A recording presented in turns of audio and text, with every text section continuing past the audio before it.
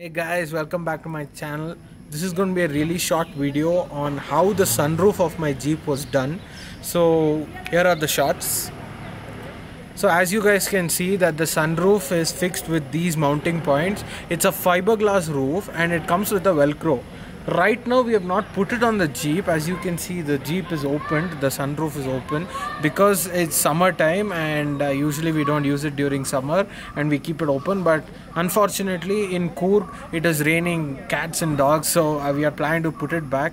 So when we put it back I will show you that as well. But for now I all you guys need to know is to get something like that you need custom fitting uh, beadings like those that I'm showing in the video right now. These custom fitting beadings were made by our tinkerer and this entire idea was my dad's and uh, they you know used a lot of their brains and uh, came up with this idea. It's not a glass roof, it's a fiberglass roof because glass will be really heavy and if something falls on it will break. The fiberglass is actually really good but too much of sun might uh, uh, you know give it cracks but nothing as of that has happened right now. It has a center velcro velcro that you pull and tighten it. So is it practical for you guys to get this one done? Should you get one for your jeep?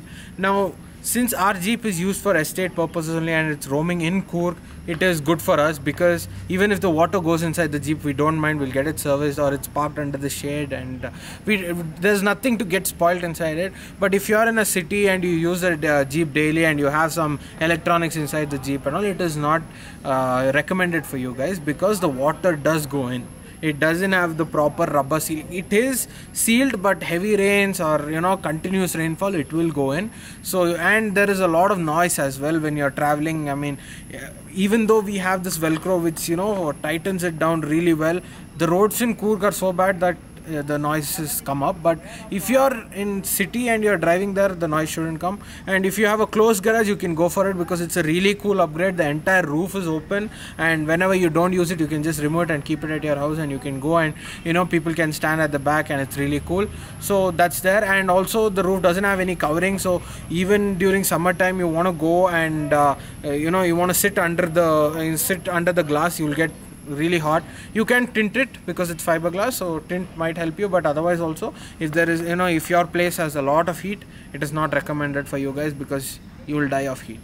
So as you guys saw that is the glass that goes on top of the jeep and those are the hooks that are used to uh, you know fasten it and keep it secure on top of it.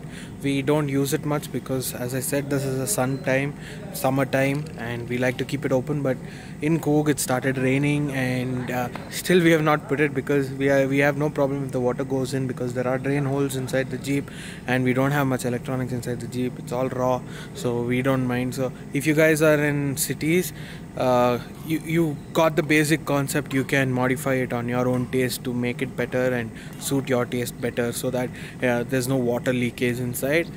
Uh, otherwise I would uh, suggest this because it's like a panoramic sunroof for your Jeep and it looks really cool. Uh, so in the night time and all you can see the stars and all that. Uh, yeah it doesn't have a safety feature like in cities. You cannot park it and go because it's easy to remove. Some people who have the knowledge. But otherwise also even if you have a soft top Jeep it's not safe to park it because it's easy to access. So I think you know that uh, if you have a hard top then you do get an option of sunroof these days so you can go for that. So hope this video helps you in some way. Uh, next video will be out soon guys. That will be on my car I guess. I've not yet planned it. Uh, so let's see. Uh, thank you for watching. Subscribe to my channel if you like my content. And yeah that's all. Bye bye